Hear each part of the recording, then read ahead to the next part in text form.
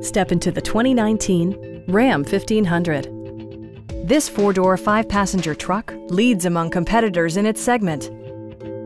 Under the hood, you'll find an eight-cylinder engine with more than 350 horsepower, providing a smooth and predictable driving experience.